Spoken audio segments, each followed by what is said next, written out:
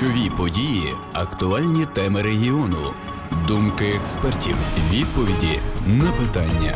Відтепер і на регіональних телеканалах Суспільного слухайте і дивіться у проєкті Українського радіо Радіо День. Всім слухачам і глядачам Суспільного наші вітання. Друзі, вітаємо вас у компанії Суспільного. Долучайтеся до нашого ефіру. Ну, а, власне, можна долучатись до Ютуб каналу Суспільне Запоріжжя і до нашого офіційного сайту zp.suspilne.media. Щороку, 3 грудня, разом зі світовою спільнотою Україна відзначає міжнародний день людей з обмеженими можливостями. За оцінками Світового банку, 20% найбільш бідних верств жителів землі є людьми з обмеженими можливостями і вимагають до себе особливої уваги. Загальна поширеність офіційно зафіксованої інвалідності в світі вже становить приблизно 10%, проте тільки на 2016 рік у світі налічувалося понад 1 мільярд людей, 15% населення, котрі мали різні форми інвалідності за медичними показаннями і критеріями ВООЗ. Йдеться на сайті Ділова мова. Чи доступне Запоріжжя для людей з інвалідністю і чи є в нашому регіоні відповідні реабілітаційні центри для їхніх потреб? Дізнаємося сьогодні. А з нами в студії Алла Морізіді, директорка благодійного фонду Українська спілка людей з інвалідністю. Вітаємо вас. Здравствуйте. І також з нами сьогодні Артур Куліш, виконавчий директор громадської організації Української спілки інвалідів. Усі і вас вітаємо. Добрий день. Отож, на вашу думку, чи захищені в Запоріжжі права та інтереси осіб з інвалідністю? Я сначала хочу подчеркнуть, что 3 декабря это ни в коем случае не праздник. И если в вашем окружении есть люди с инвалидностью, то их не нужно поздравлять. Этот день был утвержден Генеральной Ассамблеей ООН 3 декабря 1992 года. И его гуманитарная миссия — это решение очень важной социальной задачи, привлечение внимания общественности к проблемам людей с инвалидностью и защита их прав, достоинства и благополучия.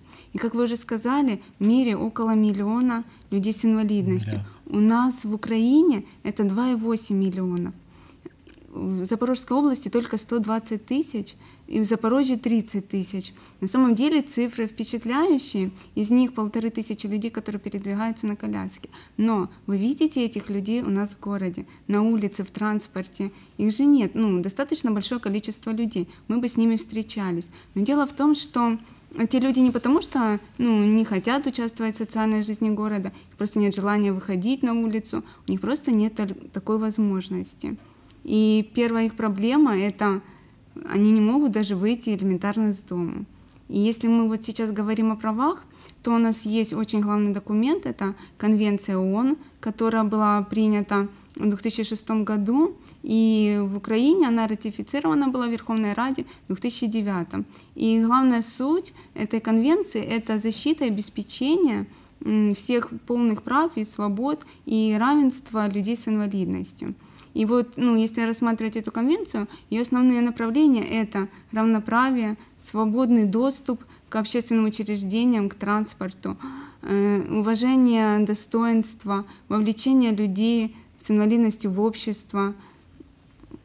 И если ну, свободный доступ, да, я уже сказала, если разбирать по вот этим направлениям, как наши права ущемляются или нет, то, конечно, многие пункты у нас не реализованы в Запорожье. Мы понемногу начинаем как бы с пункта доступность, но это идет очень медленно. И дело в том, что мне кажется, какая в этом проблема, даже те, кто занимается доступностью, делают это для нас, но без нас. Я считаю, нужно вовлекать людей с инвалидностью в комитеты доступности, в какие-то вот принятия, разработки проектов, потому что очень много, то, что даже делают пандусы, они не соответствуют нормам. Есть специальные строительные нормы, по которым должен специально есть угол наклона, по которому комфортно заехать, если человек на коляске. И есть нормы, какие должны быть бордюры, сколько это сантиметров, какие проемы.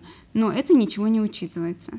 И при постройке новых объектов, и при реконструкции. И поэтому мы как бы стоим очень далеко от тех стандартов европейских, которые утверждены в конвенции, которые ну, должны помогать людям сделать жизнь более удобнее и комфортнее. Детальніше про проблеми ми ще поговоримо. Скажіть, будь ласка, в яких сферах, галузях немає проблем у людей з інвалідністю? Нас Ну, сегодня в Запорожье нет места, ну, нет места для людей с инвалидностью. Вы спросили, в каких сферах, в каких галузях.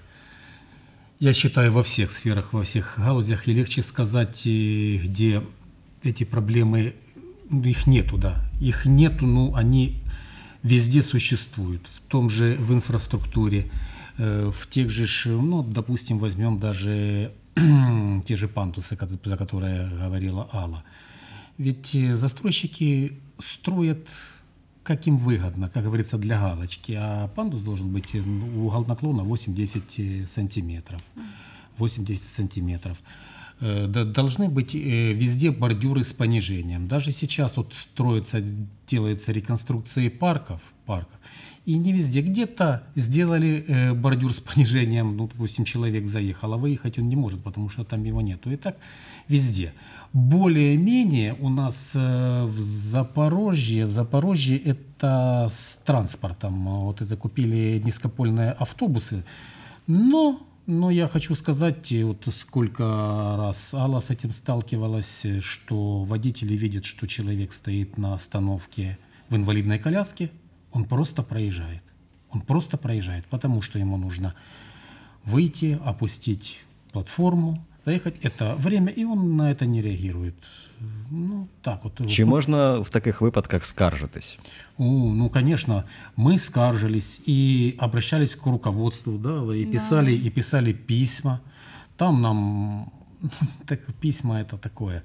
И там нам четко дали посыл, что все будет э, разбираться, э, будем разбираться, но, но ровно через две недели мы ехали на какой-то тоже на какую-то встречу и просто проехал автобус опять. Ничего. Я же говорю, это не то, что нерадивые водители.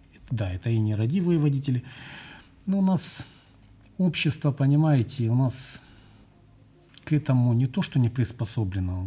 У общества нет информации. А вот была бы информация, как, что, тогда бы намного было бы легче. Мы хотим поднимать эти вопросы, освещать, показывать, что мы такие же люди, равноправные члены общества. И вот опять же я хочу вернуться к низкополым автобусам. Это очень хорошо, что они у нас есть, появились. Это очень облегчает нам проезд, но их очень мало. Их очень мало, и стоишь даже вот сейчас не за карантин, даже когда не было карантина, э, вот именно мой автобус, который ходит на правый берег, он ходит один раз в час. А если тем более зимой, и ты на тебя не взяли, тебе приходится стоять час-два на остановке, больше нечем уехать. Ну, давайте ще і скажемо про маршрутки спринтера. да, Адже ну, там которые за- я совершенно не могу попасть. Не, ну там этого, этого просто невозможно. Только у нас один транспорт для нас. И хотелось, чтобы его увеличили. Ну, делали больше закупок, потому что нереально уехать. повертаючись е, до питання пандусів, у нас є коментар. Саме зараз послухаємо коментар голови Запорізького обласного конгресу інвалідів Валентини Кононенко про доступність пандусів у Запоріжжі. Пандуси необхідно будувати там, де вони потрібні людям. Це вже наші реалії. Тому що пандусами користуються не тільки люди з інвалідністю, а користуються, наприклад, люди маломобільні, люди, які похилого віку, але вони не мають статусу інвалід. Але е, знову ж таки, якщо взяти сьогоднішні аптеки, які розміщуються трошки вище, ніж перший поверх, і на них будують сходинки, то там повинен бути все-таки пандус для того, щоб людям було зручно. Також, е, якщо є підвищення, то потрібен або пандус, якщо не можна побудувати пантус, підйомники. На сьогоднішній день це також є методом доступності. І багато пандусів, але поручнів не було. Слизька підлога. І тому ем, завжди, коли якась побудова йде, запрошують людей з архітектури. І повинні видержувати державно-будівельні норми ДБН. Але чомусь вони не видержуються. Ми слухали коментар голови Запорізького обласного конгресу людей з інвалідністю Валентини Кононенко про доступність пандусів у місті Запоріжжя. Ну, окрім пандусів, ще є і підземні переходи. Як вони розташовані в нашому Запоріжжі, чи доступні для людей з інвалідністю? Ни один подземный переход в Запорожье недоступен. Угол наклона там очень высокий, там даже невозможно не то, что ну, человеку с инвалидностью на коляске приехать, там даже мамочка детскую коляску не сможет провести. Это реально очень высокий угол, и вот я знаю, что в странах Европы в подземных переходах есть специальные лифты для людей с инвалидностью, которые можно опуститься, они стоят рядом, и вы, это достаточно этих много лифтов, и в чем дело? Этими лифтами пользуются только люди с инвалидностью. Там не катаются ни дети, ни подростки, не играют. Может, скорее всего, у нас ничего не устанавливается, потому что еще наш украинский менталитет, это все разламывается. Ну, это проблема с подземным переходом, это только нужно или подъемник, или специальный лифт. По-другому туда не попадешь. Ну или э, специальное оборудование, на, специально оборудованные наземные, наземные переходы, которые, которые светофоры с сигналами, и чтобы это было обязательно должна быть тактильная плитка, которая человек э, плохо видящий подходит к этому переходу. Ну а подземные переходы у нас вообще не приспособлены, они Інфраструктура міста від кого залежить власне для людей з інвалідністю? Від людей з інвалідністю, від громадських організацій чи все-таки від влади? Хто це потрібен вирішувати все в першу Давайте чергу? я сейчас скажу э, в это, Алла дополнит. Э, Инфраструктура э, в первую очередь зависит, это, конечно, от власти. Ну, я сейчас, может быть, скажу в этот Международный день инвалидов непопулярные вещи. Ну, проблемы людей с инвалидностью сидят в них самих. Люди с инвалидностью хотят иметь равные возможности, безбарьерные. Но люди с, инвалид, с инвалидностью иногда сами создают себе барьеры. Понимаете, э, когда человек с инвалидностью замыкается, как говорится, в своей скорлупе, создаются какие-то форумы, создаются какие-то группы, жизнь у виску, жизнь на костылях, жизнь с палочкой, ну я это утрирую это, ну тогда не надо человеку заходить в эту свою оболочку. Если ты хочешь общаться, если ты хочешь что-то донести – то нужно заходить, если ты раз уже сидишь в сетях, то нужно это выходить не в какие-то группы, а нужно выходить это людям объяснять. Понимаете, у нас многие люди, многие люди не имеют никакой информации. Ее очень мало. Э, задумывался ли я вот раньше до инвалидности, я инвалид второй группы, о, о проблемах инвалидности? Да, у меня было сочувствие. Ну, задумался я ли о проблемах инвалидов? Я честно скажу, нет. Честно скажу, нет. Да, было сочувствие. Было сочувствие. Но потом, когда я попал в жуткую аварию, когда был весь переломан, и когда я ощутил на себе, что это такое, что такое быть лежачим, что такое в день делать три шага, это как победа. Эта информация дошла мне через меня. Ну, я никому этого не желаю. Я хочу, чтобы мы, вот мы с Аллой, больше, вы, большое вам спасибо, чтобы больше давали информации людям. И тогда они будут уже более толерантно относиться к людям з інвалідністю. Але ось хотів у вас запитати, чому люди з інвалідністю бояться вийти в суспільство на вулицю? Чому вони замикаються? У нас в обществе очень много таких стереотипов. Люди нас не принимают, не воспринимают. И мы иногда, ну, то, что первое, это мы не можем, да, бывает часто выйти с, с подъезда, дойти до какого-то магазина, до остановки, но часто и люди нас не воспринимают. Есть вот сейчас молодое поколение, мы много об этом разговариваем, и человека с инвалидностью они нормально воспринимают, и потому что больше их как-то видят и на мероприятиях, а старшее поколение просто вот у меня такая ситуация была, идет, допустим, бабушка с ребенком, и ребенок кричит, смотри, бабушка инвалид едет. Она ему закрывает глаза и говорит, не смотри. Ну, Ну почему, да, не смотри. И многие люди на, психологически на них это очень давит, да, когда их не принимают или, не, ну, или говорят, а куда ты едешь? Есть такие вопросы, когда в транспорте, а зачем ты едешь куда-то? А чего ты здесь стоишь? А что тебе надо? И на многих людей это психологически давит. И вот даже из-за этого они могут замыкаться и думать, что они здесь как бы не нужны в этом обществе, их не принимают.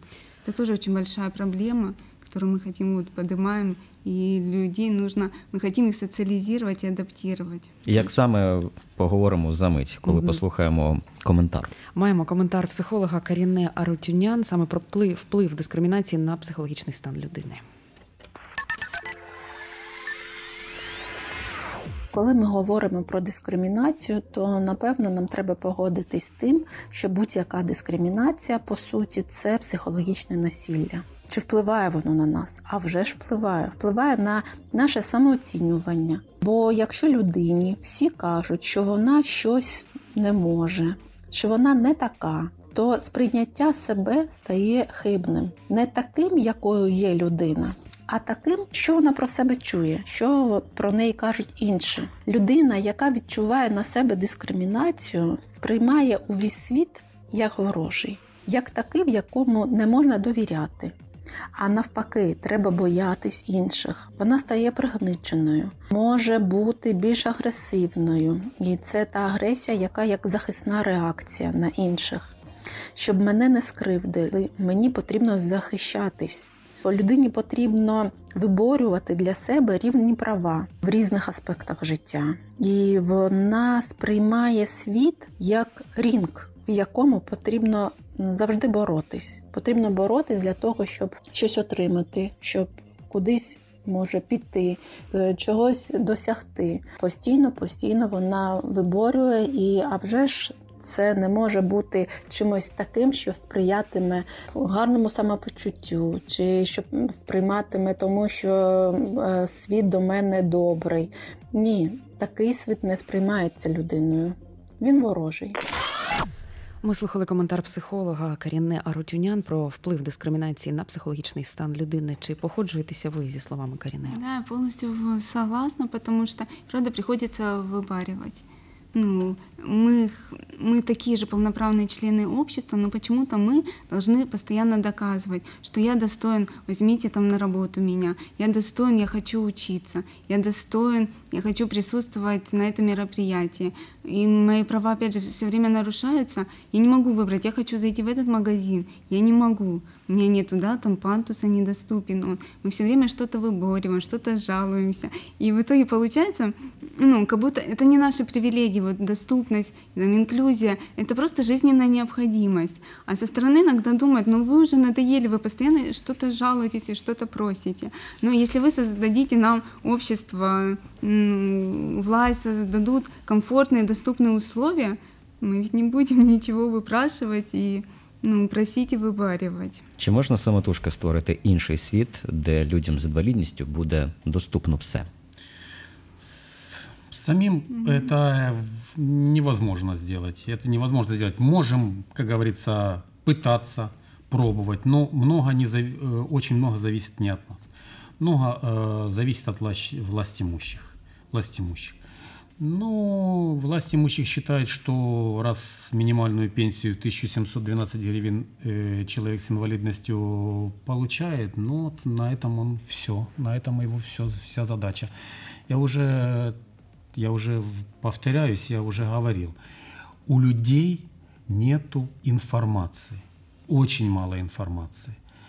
Если человек видит э, человека с инвалидностью, он старается или отвернуться, или наоборот глазеет.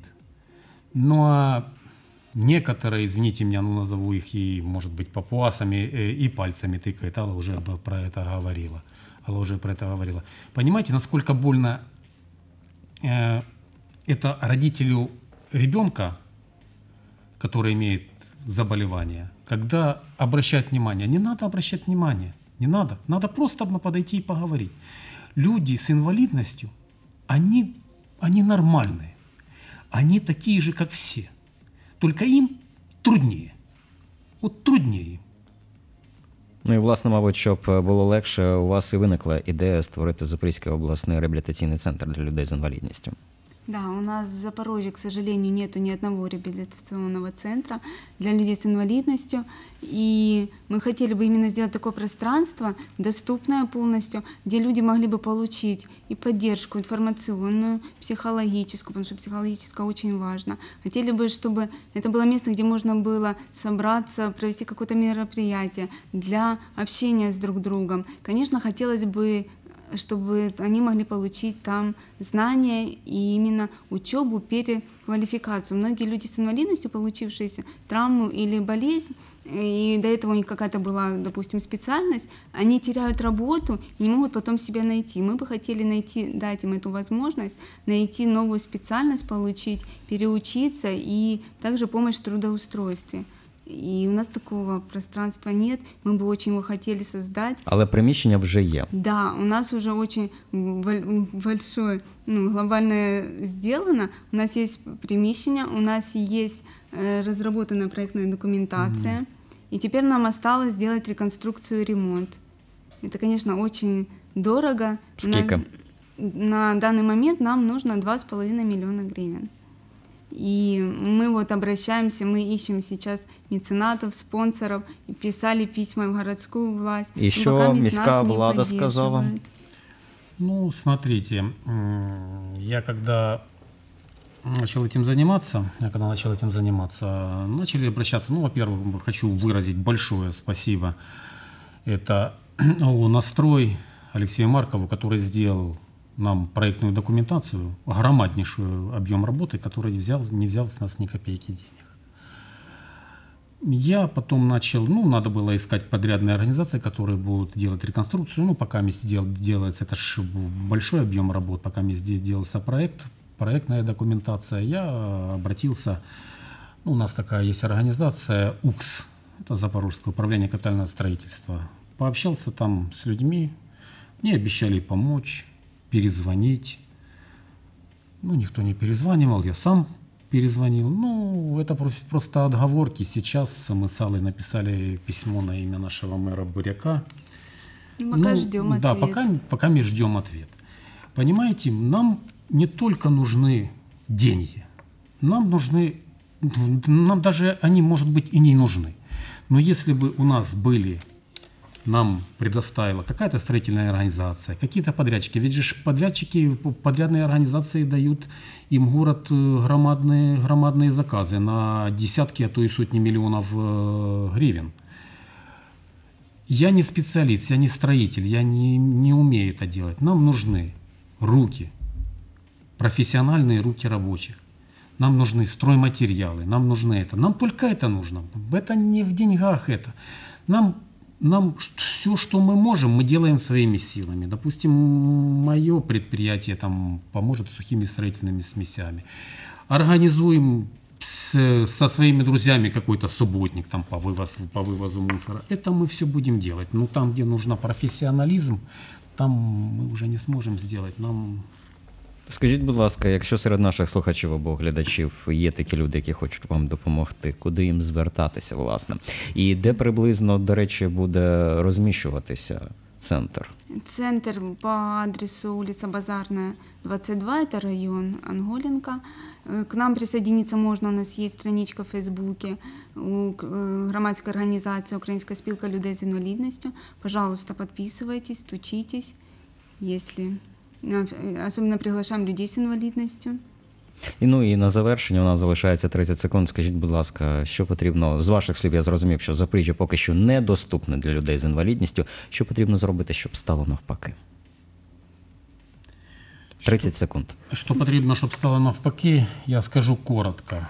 Если люди с инвалидностью, мы Активные люди с инвалидностью, мы объединимся. Для чего мы создаем этот центр? Чтобы, чтобы объединиться и был, как говорится, единый, единый центр, как говорится, единый кулак, то даже люди не понимают, какая мы есть и громадная сила. Мы можем достучаться тогда будет в любую, в любую, к любой власти, в любой кабинет. И нам не откажут. Мы будем требовать законные свои требования. Ну, в- законные требования. И тогда это. Э, на жаль, люди с инвалидностью, ну, как я уже говорил, хотят отсидеться в скорлупе, и что-то, может быть, Артур или Алла за них порешает, и все будет тогда нормально. Ну що ж, сподіваємося, що все буде навпаки. І хотілося б всім нашим слухачам і глядачам сказати, що відкрийте очі, подивіться на тих людей, які поруч з вами. Нагадаємо, що сьогодні ми говорили про доступність Запоріжжя для людей з інвалідністю та про те, чи є в нашому регіоні відповідні реабілітаційні центри для їхніх потреб. З нами були Алла Мурізіді, директорка благодійного фонду Українська спілка людей з інвалідністю та Артур Куліш, виконавчий директор громадської організації Української спілки інвалідів. Усім дуже вам дякуємо. Спасибо. В студії большое. працювали Олександр Паштенко та Поліна Сніжна. Почуємося, побачимось на Суспільному. Ключові події, актуальні теми регіону, думки експертів, відповіді на питання. Відтепер і на регіональних телеканалах Суспільного слухайте і дивіться у проєкті Українського радіо Радіо День.